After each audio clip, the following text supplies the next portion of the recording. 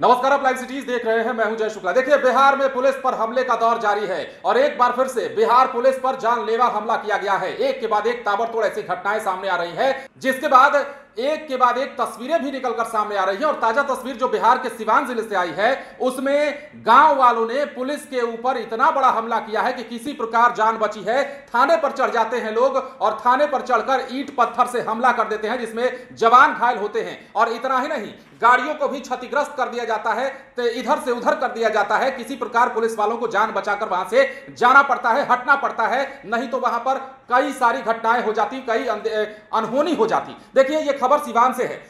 Bihar police पर लगातार हमले की घटनाएँ सामने आ रही है और रात में यह घटना हुई है। छापेमारी के विरोध में ग्रामीण टूट पड़ते हैं और लोग इतने आक्रोशित हो जाते हैं कि थाने पर चढ़कर पत्थरबाजी करने लगते हैं, जिसमें जवान सहित बीएमपी का एक जवान सहित तीन घायल हो जाते हैं। मामला सिवान के मैरवा थाना क्षेत्र के चुपचुपवा गाँव का है। अवैध शराब की छापेमारी के विरोध में पुलिस वहाँ गई थी और वहाँ पर ग्रामीण मैरवा थाना परिसर पहुँच गए। घेराव कर दिया, हंगामा करने लगे और देखते ही देखते यह हंगामा इतना बढ़ गया कि लोगों ने उग्र होकर ईट पत्थर चलाना शुरू कर दिया। इतना ही नहीं, अग्निशामक वाहन समेत थाने की तीन गाड़ियों को भी क्षतिग्रस्त कर दिया गया।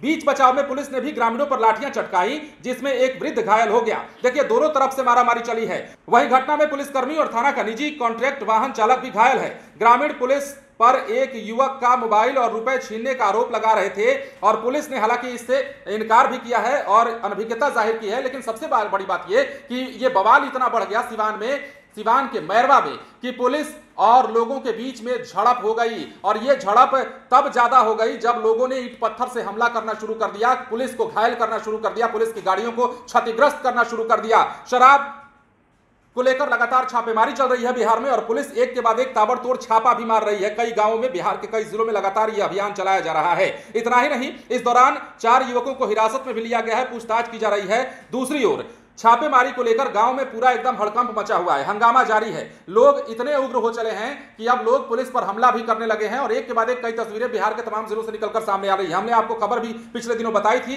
कि यह पहली बार नहीं है कि जब पुलिस पर हमला किया जा रहा है। तो देखिए, सिवान की यह घटना है।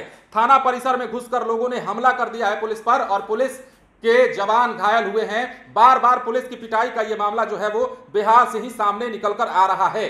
अब इसमें आगे अगर हम बात करें, थोड़ा डिटेल में जाते हैं तो पाते हैं कि किस प्रकार ये घटना हुई, कैसे इसकी शुरुआत हुई और क्या कुछ हुआ। तो थाना अध्यक्ष ने जो बताया है, उसके मुताबिक यदि हम आपको बताएँ तो मनोज कुमार, जो थाना अध्यक्ष हैं, उन्होंने कहा है कि घटना को अंजाम देने वाले तथ्यों की पहचान की जा रही है। अधिकांश युवक गाँव छोड़कर फरार हैं। प्राथमिकी दर्ज कर दोषियों के विरुद्ध कार्रवाई की जाएगी। किसी को छोड़ा नहीं जाएगा, किसी को बख्शा नहीं जाएगा। लेकिन सवाल यह है कि आखिर पुलिस पर इस प्रकार हमले हो क्यों रहे हैं? पुलिस अपना काम कर रही है और सरकार के निर्देश पर शराब बंदी कानून को सफल बनाने के लिए एक के बाद एक ताबड़तोड़ छापेमारी चल रही है। लेकिन इसी बीच बिहार के सिवान में एक बार फिर से बड़ी घटना हुई है, जो कि कहीं ना कहीं सवालों को जन्म देती है। बना रहे लाइव स्टीज के साथ। यदि अब तक आपने हमारे चैनल को सब्सक्राइब नहीं किया है तो सब्सक्राइब कर लीजिए, ताकि हम आपको खबरों से अपडेट रख सके। धन्यवाद।